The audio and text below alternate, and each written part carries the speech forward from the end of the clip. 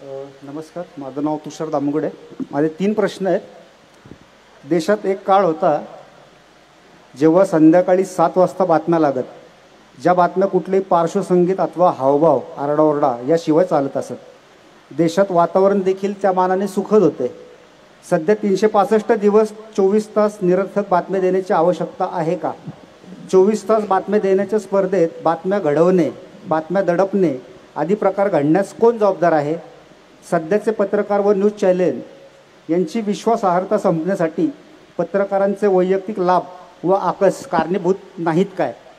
राजीव सरांना याचं उत्तर द्यावं. आगाशे सर नंतर विचारणार मला एक आठवण आहे वी एक वीस पंचवीस वर्षापूर्वी जेव्हा देशात चोवीस तासाचे चॅनल सुरू होणार होते तेव्हा पहिल्यांदा मी प्रणवरावांना विचारलं सर हम डालेंगे क्या? What will be put in this channel चोवीस काय क्या नाही नाही, वो हो जाएगा आणि एक बी बी सीच्याचा एक रिपोर्टर होता जेरेमी पॅक्समन.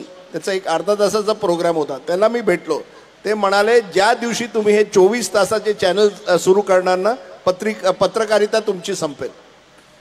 कारण की एकदा तुम्ही त्या प्रेशरवर येता की दर एका तासाने मला काही नवीन बातमी द्यायची तो प्रेशर आहे.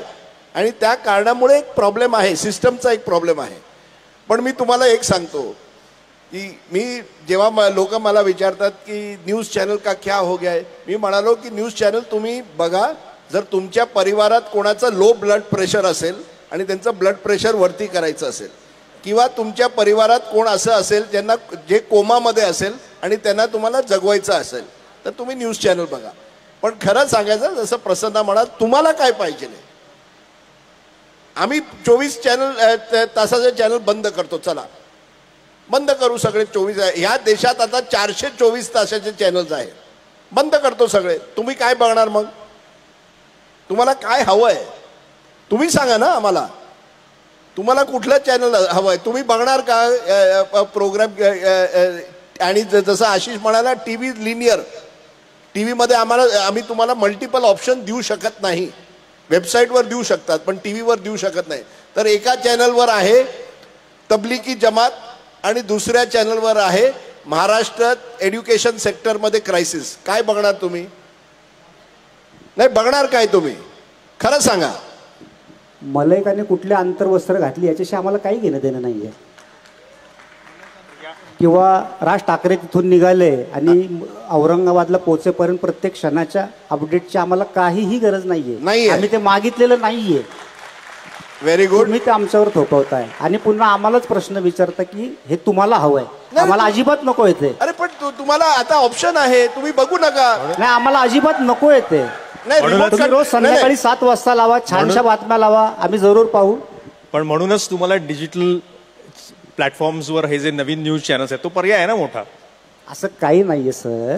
मी काय म्हटलं की जे न्यूज चॅनलचे जे अँकर असतात जेव्हा ते एखादी डिबेट कंडक्ट करतात तेव्हा ती फक्त कंडक्ट करणे एवढीच त्यांची भूमिका असावी. त्यांनी त्यांची मतं मांडायची असतील तर त्यांनी पॅनलिस्ट म्हणून यावं. आणि त्यांची मतं मांडावीत. माझ्या मते आता इथे शक्य नाही आहे पण आयोजकांनी पुढच्या वेळी जसा आपल्या आमच्याबद्दलचा सगळा डेटा तयार आहे तसा प्रेक्षकांचा सुद्धा डेटा असा फेसबुक वगैरेवरच्या त्यांच्या पोस्ट कोणत्या असतात कोण काय लिहित असतं तसा जरा डेटा दिला तर आम्हाला सुद्धा कळेल कोण काय लिहिते आणि प्रत्यक्षात काय विचारतंय. तर अशी एक माझी जेनेरिक कमेंट आहे की आयोजकांनी पुढच्या वेळी जरा प्रेक्षक कोण आहेत आणि त्याची प्रत्येकाची इकडे प्रोफाईल उभं राहत असताना इकडे प्रोफाईल दिसली पाहिजे की ते काय लिहित असतात ते काय विचारत असतात त्यांच्या लिहिण्यामध्ये आणि बोलण्यामध्ये काय फरक असतो त्यांचे अजेंडे काय असतात. त्यामुळे एक बोट जरूर आमच्याकडे दाखवा पण तीन बोटं जी तुमच्याकडे आहेत ती सुद्धा आपण जरा लक्षात ठेवूयात आणि आता पुढचा प्रश्न घेऊया. आगशनचा